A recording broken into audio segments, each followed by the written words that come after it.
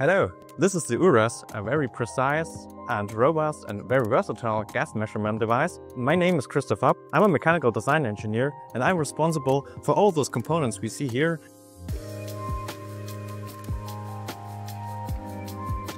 The URAS is using a non-dispersive infrared spectroscopy. This is sort of a light absorption technology.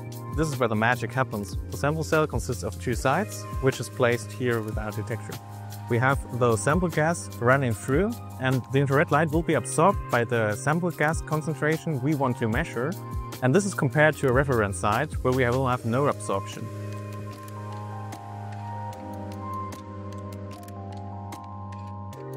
So here we are in our new URAS production line. Uh, after the housing, the electronics comes, the pneumatics comes, and at the end, everything is put together. So no many ways to walk, everything is here. The employee can take it, uh, screw it and put it back. Everything together uh, makes a lot of increase in the throughput time. We uh, increased it around 50%. Yeah, we're doing a lot.